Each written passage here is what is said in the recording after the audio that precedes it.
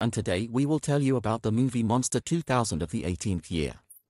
It all starts with the demonstration of Chan John, who managed to curtail power, and now he is the new king.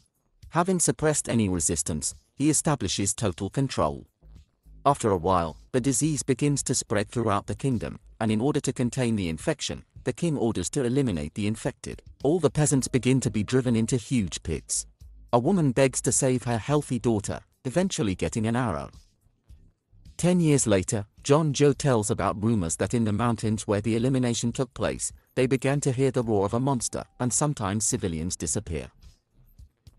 Obviously, the residents are in a panic, and if the government does not help them, the authority of the crown will be in question. In the middle of the forest, Jun and his friend Sun and his adopted daughter Meng are looking for prey, but nothing comes out, even fish cannot be caught. When she gets home, Mian asks her father to move to another area, but he just sends her for vegetables while a man sneaks into the yard. Aiming at the unknown, Mian demands to introduce himself. His name is Ha and he came for a man who used to work in the king's personal guard. When suddenly she is distracted by Sun and the arrow is sent to Hora, who easily dodges. Only now does he realize that Yun Sun were the best warriors of the crown. But Yun does not want to return, but the king is already here. A long time ago, Yun came to the palace with a girl who was asked to be saved. Yun demonstrated that not all people are contagious, which means his order was reckless. The guards take a man surrounded by them, and only some laid down his weapons. In punishment, the king expels two warriors. And now, ten years later, he needs his help again, and after all, only he can catch the monster. After night thoughts, the man decides to return to the capital, while somewhere in the forest shamans are trying to expel evil, eventually being eliminated. The surviving girl saw all this, Arriving in the city, the family is amazed by the bad life of people, because until recently the city flourished. But they are distracted by girl with the news of elimination. Yun carefully examines the area, noticing the ropes on their ankles, and then interrogates the girl. She says that she saw something terrible, but there is no fear in her voice, which is why they arrange surveillance. The girl leads them to a man in black handing over a bag. The dream rushes for the day, the man manages to escape, Inside the bag was food, which the girl distributes to people in need. She also says she lied in exchange for food. Because of rumors about a monster, people are afraid to go to work, but the girl believes that there really is a monster. After a while, the news of a new elimination spreads. One of the bodies was lying right on the tree. No man is capable of this. But there were knife wounds in the bodies, someone is trying to pass them off as a monster attack the king orders to organize a search party led by Yun. The authorities are ready to allocate no more than a hundred soldiers. If they need more people, they'll have to find them among the peasants. There is a man hiding in this crowd. The sounds of a gong are heard, the squad combs the forest, but finds nothing but pink goo. Very soon it gets dark and Sun offers to turn around, but the commander of the royal guard, Jin decides to go deep into the forest, because monsters notice it at night. Miang mentions that while they were walking, they didn't find a single bone, most likely the monster is very hungry. In the dead of night, the old man deviates from the group and goes into the dark thicket. In an attempt to find him, the group stumbles upon a fresh elimination, and an imprint is visible on the ground. In another part of the group, Captain Jin gives the order to eliminate all the peasants and launch a signal to capture the monster. Ha fights back against the soldiers, saving them from elimination, but the numerical advantage is not on his side. When everything has calmed down, Jin says that the monster never existed.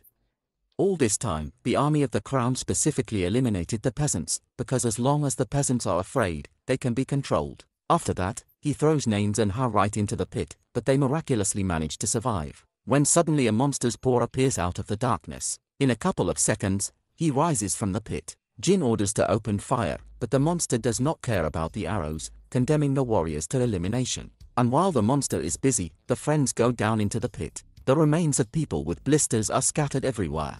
We need to warn the crown before the disease reaches the city. When suddenly an old man runs out, who has moved away from the group and asks to smear himself with the slime of the monster, so they will not get infected and wash off the smell. After turning off the light, he also asks to behave as quietly as possible. Not noticing the heroes, the monster just falls asleep, but still notices the smell of names. Starting the chase, the group runs out onto a cliff, from where it is possible to jump into the water, and Jin and several warriors manage to return to the palace. He works for Prime Minister Sim, and he is puzzled that the monster really exists.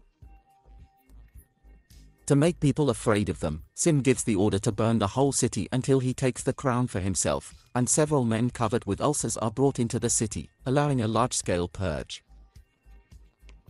There are hidden passages under the king's castle, the old man says that the former ruler adored monsters and allocated a separate territory for them under this castle, and the old man was responsible for feeding the monsters, even attached himself to one of them. When John Joe overthrew the king, he ordered the destruction of all creatures, but the old man helped the pet escape through a secret entrance. And when the king eliminated the infected, the creature regaled them, turning into the current monster. With the help of his favorite toy, the old man drives the creature into the aviary and closes the grate, which the monster does not particularly like, sending him to the next world. After that, you can easily get out of the cage. On the surface, the Prime Minister promises to help residents who have lost their home due to the flames. People think that he is a kind person, they start bowing. Ying manages to sneak into the throne room and tell them that the monster is real, but their conversations are interrupted by the Prime Minister with a bow, and before the king. The Prime Minister plans to tell that it was Yun who gave the order to burn the city, simultaneously driving away the king. But before he can finish, a monster bursts into the hall. The guards are trying to fight back, but people don't mind him. In the city of names, she pretends to be infected, and imperceptibly unties herself. John and Yun also escape. After a long battle, the guards manage to lure the monster into a trap. Everyone decides that this is an ideal chance to rise even more in the eyes of the peasants. You just need to bring it to people and destroy it. But the monster breaks out, smearing the guards in red slime. Each of them is infected in just one second. The trio comes up with the idea of setting a trap in a cell under lock and key, but for this they need a bait, Jung becomes it. Before that, Miang informs civilians about the monster. She also reports that Sim is the culprit in the recent arson. Hearing such words, the residents push the Sim into the castle. Jung launches a flare, attracting the monster. AUN sure, the explosives are being set up, but an infected captain comes out of the shadows. Go pierces the warrior, but the captain does not want to give up and hides from the arrows. The girl asks him to do the same thing that he did at their first meeting, sending the captain to the next world.